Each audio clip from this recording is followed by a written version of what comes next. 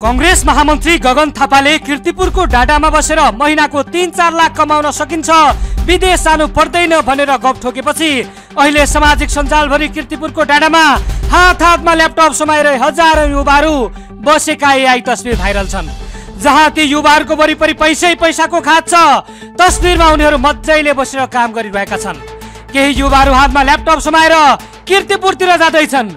किर्तिपुरको डाडाभरि युवाहरूको लाइन छ कङ्ग्रेस महामन्त्री गगन थापाले मङ्सुर तेह्र गते बिहिबार किर्तिपुरमा आयोजित चुनावी सभालाई सम्बोधन गर्दै किर्तिपुरलाई नेपालको यस्तो नमुना नगर बनाउन सकिन्छ जसको घरबाट निस्केका बच्चाहरूले अबको पाँच छ सात आठ वर्षपछि यी कतार जाने छैनन् मलेसिया जाने छैनन् इजरायल जाने छैनन्।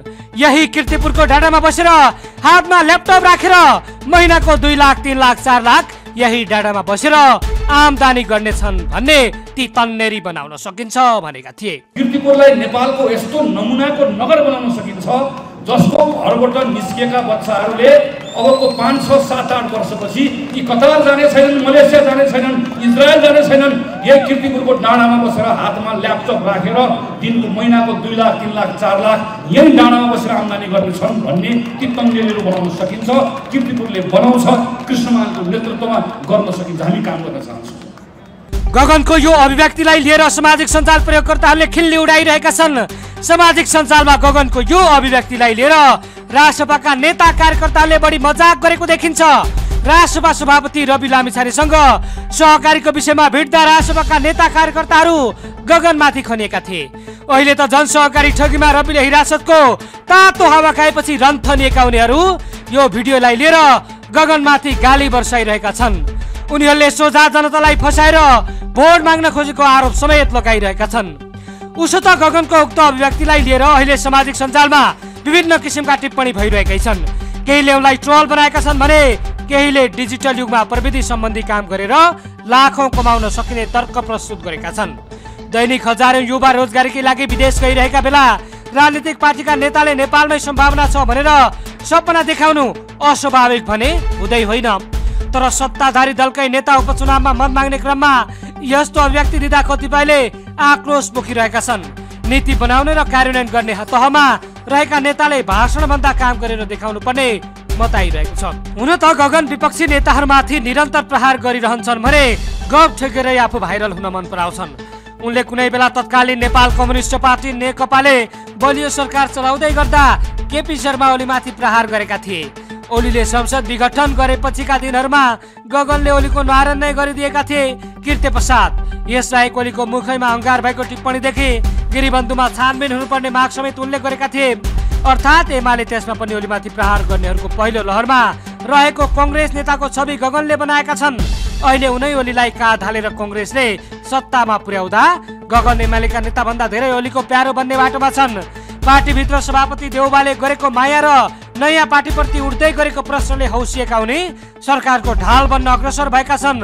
यसले ओली देउबा दुवैको माया पाउन सक्ने बुझेका उनले आफ्नो तारो पुष्प कमल दाल प्रचण्ड र रविलाई बनाएका छन्। फलत कङ्ग्रेस सत्र हजारमा एमालेसँग भएको सहमति अनुसार सरकारलाई तलमाथि गर्ने पक्षमा नरहेको उनले बताएका छन्। हप्तामा एक पटक प्रचण्डले प्रधानमन्त्री बनिदिनु पर्यो भनेर कङ्ग्रेसलाई खबर पठाउने गरेको खुलासा गरेका उनले माओवादीले गर्दा देश पछि परेको समेत जिकिर गरिरहेका छन्। प्रचण्डले भर्खर भनेर जानुभयो कि यो यो कारणले गर्दा सरकार बदलियो। नेपाली कङ्ग्रेस अहिले पनि संसदको सबभन्दा ठुलो पार्टी हो। अहिले पनि प्रचण्डले हप्तामा एकपटक काङ्ग्रेसलाई खबर पठाउनुहुन्छ।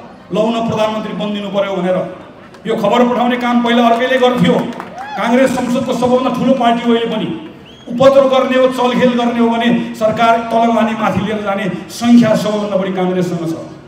तर काङ्ग्रेसले हिजो प्रचण्डलाई प्रधानमन्त्री मान्यो। आज काङ्ग्रेस केपी ओलीलाई प्रधानमन्त्री मानिरहेको छ। प्रधानमन्त्री बन्ने ताकत नभएर होइन। प्रधानमन्त्री बन्न नआउने भएर होइन। तर यो बेलामा प्रधानमन्त्री बन्ने कुरा महत्त्वपूर्ण होइन। यो बेलामा देशलाई स्थिर सरकार दिने कुरा महत्त्वपूर्ण अब सोफा तथा सम्पूर्ण फर्निचर खरिद गर्दा सिधै फ्याक्ट्रीबाट खरिद गर्नुहोस्। Online sofa centre Vasundhara Kathmandu. Phone number nine eight five one double three four eight six seven. विश्वास दिँदै अघि बढ्दै।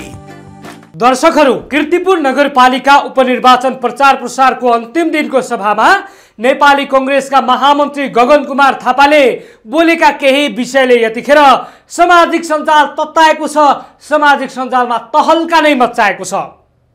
महामन्त्री गगन थापाले एमाले अध्यक्ष तथा प्रधानमन्त्री केपी शर्मा ओलीकै शैलीमा हावा बोल्न थालेको भन्दै धेरैले आलोचना नै गरिरहेका छन्।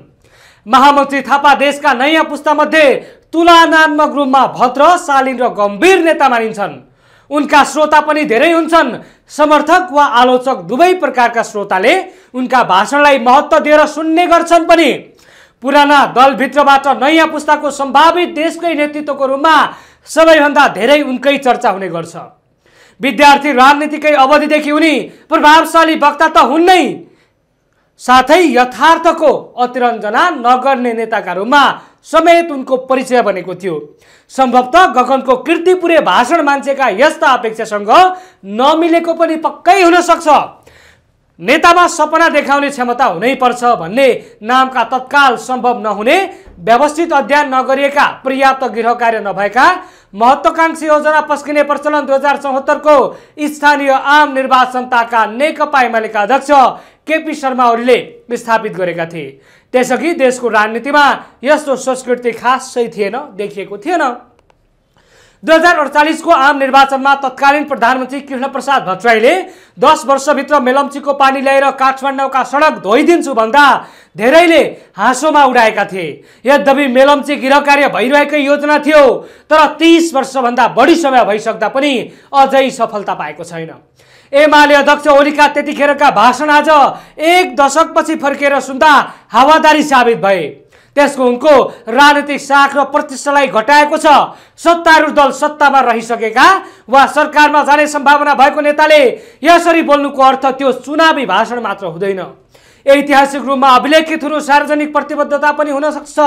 कदापि ती पुरा भएनन् भने मान्छेले ढाँटेको भोटका लागि मतदाता र नागरिकको मनोवैज्ञानिक तथा भावनात्मक शोषण गरेको अर्थमा लिन्छ लिने गर्छन् लिन्छन्। बोलेका कुरा पुरा गर्न सके राम्रै हो। त्यसले बोल्नेको विश्वसनीयता बढाउँछ। बोल्ने नेताका साथै सम्बन्धित दलको विश्वसनीयता समेत बढ्छ। नेताहरूले सार्वजनिक रूपमा कबोल गरेका कुरा कार्यान्वयनमा आउँछन् भन्ने भरोसा जाग्दछ। अन्यथा ती बोल्ने व्यक्तिकै लागि प्रतित्यात्मक हुन्छन्। बोलेका कुरा पुरा गर्ने सके राम्रै भयो। त्यसले बोल्नेको विश्वसनीयता त बढाउँछ नै अब जस्तो गगन कुमार थापाले पनि अहिले बोलेका कुरा के पुरा गर्न सक्छन् होला त? यो पनि आम चासोको विषय बनेको छ किनकि उनलाई पछिल्लो समय महागफाडी भन्नेहरू पनि व्यापक छन् अर्थात् उनका विरोधीहरूले गगनलाई महागफाडीको संज्ञा दिन्छन्। एकैछिन दुई हजार चौहत्तरको आम र स्थानीय निर्वाचनमा एमाले अध्यक्ष केपी शर्मा ओलीले बोलेका थुप्रै कुरा अहिले पनि उनैलाई घाडो भएका छन्। घर घरमा ग्यास पाइप हनुमाननगर कलकत्ता पानी जहाजको टिकट हिन्द प्रशान्त महासागरमा नेपालको ध्वजावाहक पानी जहाज सेवा केरुङको चिनिया रेल पाँच वर्षभित्र काठमाडौँ पोखरा हुँदै मुस्ताङ र लुम्बुनी काठमाडौँमा पाँच वर्षभित्र मोनो र मेट्रो दुवै रेल निर्माण प्रति व्यक्ति आय पाँच वर्षभित्र पाँच हजार डलर। हरेक असक्षम नागरिकलाई मासिक दस हजार पकेट खर्च यस्ता दर्जनौँ भाषण ओलीले गरेका थिए। जो पुरा सम्भव भएन। हुन पनि सक्दैन केपी ओलीबाट सम्झिने पानी छम्किने उनका यी दृष्टान्तले आम नागरिकलाई नेताहरू झुटो बोल्छन्। यिनको बोलीको कुनै विश्वास हुँदैन। औचित्य नै छन् भन्ने कुराको भान हुन थालेको छ। देशलाई दस वर्षभित्र सिङ्गापुर र स्विजरल्यान्ड जस्तो बनाइनेछ भन्ने भाषण त्यो बेला रोचक र रोमाञ्चक लाग्थे। आज धेरैले हाँसोमा उडाउँछन्। सपना देखाउने निराशा चिड्ने र युवा पुस्तालाई उत्साहित बनाउने नाममा गरिने अतिरञ्जनपूर्ण भाषणले गगन पुस्ताको उचाइ बढाउँदैन। झन् कमजोर त बनाउँछ नै किनकि त्यो आफैमा बदनाम र कमजोर भइसकेको भद्दा राजनीतिक संस्कृति हो। त्यसैले अघिल्लो पुस्ताकै नेताहरूको प्रवृत्ति पुनरावृत्ति मात्र गर्दछ। नयाँ पुस्ताबाट अपेक्षित नयाँपनको आभास दिँदैन। पाँच सात वर्षभित्र किर्तिपुरका डाडालाई नेपाली युवाले एउटा ल्यापटपको भरमा महिनाको दुई चार लाखसम्म कमाउन सक्ने बनाउने थापाको भाषण नराम्रो होइन। नराम्रो त ओलीका पनि कुनै भाषण होइनन्। सैद्धान्तिक रूपमा ती असम्भव पनि थिएनन्। तर देश अहिले कुन हालतबाट गुज्रिरहेको छ त्यस्ता योजना कुन निकायले कहिले कुन बजेटले कसरी कार्यान्वयनमा ल्याउँछ? हो यी यस्ता सवाल र योजना कुनै अमुक दलको मेयर उम्मेद्वारको हर जितसँग जोडिएको हुन्छ जस्ता प्रश्नको प्रश्नता बिना चुनावी भाषण हावादारी गफ सिद्ध हुन्छ।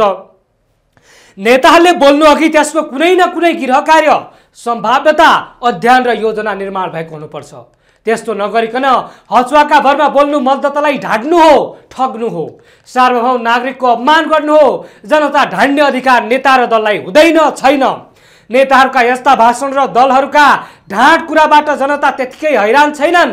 नेताहरूको बोलीको विश्वसनीयताबारे अमेरिकी राष्ट्रपति जोन एफ किनेडीको एक उदाहरण संसारभरि स्मरण गरिन्छ। सन् उन्नाइस सय एकसट्ठीको मेमा केनेडीले दस वर्षभित्र अमेरिकाले मानव यात्रुसहितको यान चन्द्रमा पठाउने गरेका थिए। दस वर्ष नपुग्दै सन् उन्नाइस सय उनासत्तरी जुलाई बिसमा एपोलो एघार मिसन सफल भएको थियो। निल आर्म स्ट्रङ चन्द्रमामा पाइला टेक्ने पहिलो मानव बनेका थिए। यसको अर्थ हो कि नेताहरूले बोल्नु अघि त्यसको कुनै न कुनै गृह कार्य सम्भाव्यता अध्ययन र योजना निर्माण भएको हुनुपर्छ। त्यसरी हचुवाको भरमा बोल्दाखेरि त्यो झुटो पो हो कि भन्ने एउटा नागरिकमा असर पर्छ नागरिकहरूले सोध्छन् उनकै मतदाताहरूले सोध्छन् र सोचे होला पनि सायद गगन कुमार भाषाको त्यो हावागफ गगन थापा महागफाडी भन्नेहरू अहिले राजसभाका कार्यकर्ताहरू हुन् जसलाई धेरैले घन्टेवाला रविका अन्धोभक्तहरू समेत भन्ने गरेका छन् भनेर भन्नेहरूको पनि धेरै लाइन देखिन्छ सामाजिक सञ्जालतिर। सस्तो छिटो र भरपर्दो फाइबर नेट र आइपिटिभी भनेकै admission open zoom beauty academy नेपालकै नम्बर वान बाइस वर्षको अनुभवको साथमा हन्ड्रेड पर्सेन्ट जब ग्यारेन्टी अब सोफा तथा सम्पूर्ण फर्निचर खरिद गर्दा सिधै फ्याक्ट्रीबाट खरिद गर्नुहोस्। Online sofa centre Vasundhara Kathmandu. Phone number nine eight five one double three four eight six seven विश्वास दिँदै अघि बढ्दै। राइट संसार देशको मुहार।